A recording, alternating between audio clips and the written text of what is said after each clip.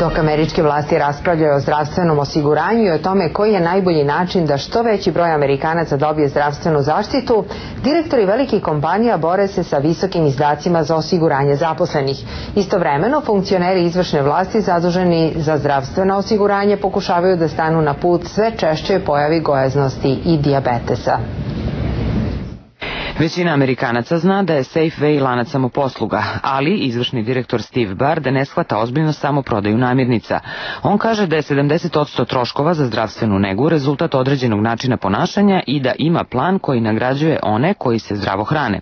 Bard je izgradio teretanu poslednje generacije u sedištu kompanije u Kaliforniji, a u kafeteriji se služe samo zdravi obroci. Menadžeri Safewaya i drugi zaposleni koji nisu članovi sindikata plaćaju manje za zdravstveno osiguranje ako redovno proveravaju krvni pritisak, težinu i nivo holesterola.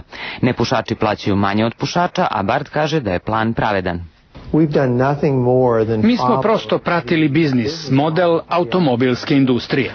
U toj industriji vozači koji su dobro vozili u prošlosti plaćaju manje za zdravstveno osiguranje od vozača koji su pravili greške u vožnji. Bard kaže da njegov plan za SafeAid dopušta zaposlenima da sami odaberu kako će živeti.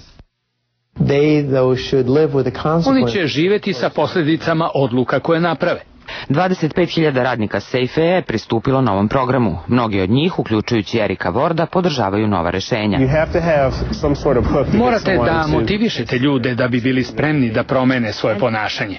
Od kada je počeo da primenjuje novi program, Bart kaže da su troškovi Safe'a za zdravstveno osiguranje ostali isti, dok su kod drugih kompanija povećani i do 40%. Poenta svega je da razviješ program u kom se savesno ponašanje vrednuje i moći ćeš da finansiraš osiguranje onih koji ne uživaju zdravstvenu zaštitu. Ovo je svakako opcija za one koji raspravljaju o zdravstvenom osiguranju u Americi u kojoj je rekordnih 47 miliona ljudi bez osiguranja.